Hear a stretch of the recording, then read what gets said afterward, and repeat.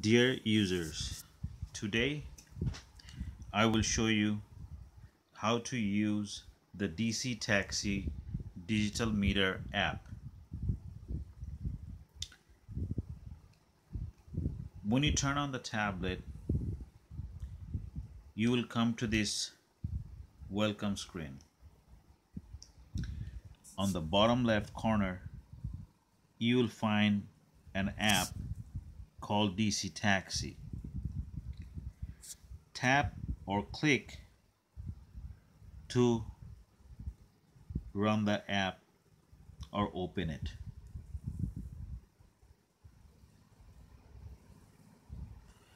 Once you open it, you will see on the first line says face card number. Enter your face ID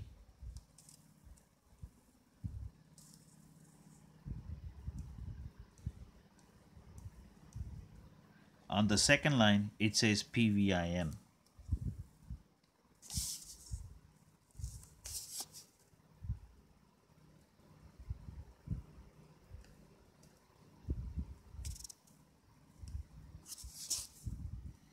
Click verify. It will ask for your PIN number.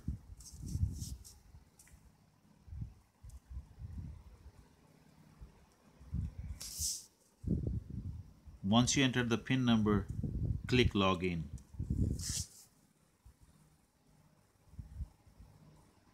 It should take couple of seconds to log you in.